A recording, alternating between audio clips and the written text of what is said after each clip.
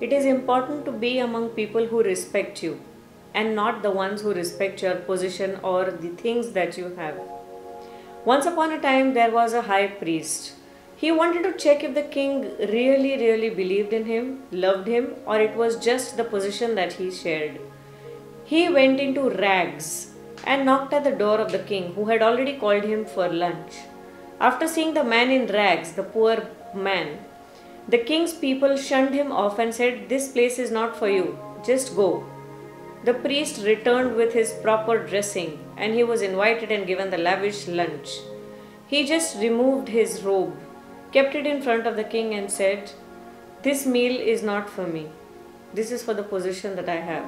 And he left the place. Try and understand how many people in your life are respecting you as a person or they are respecting the position that you have. Have right people in your life.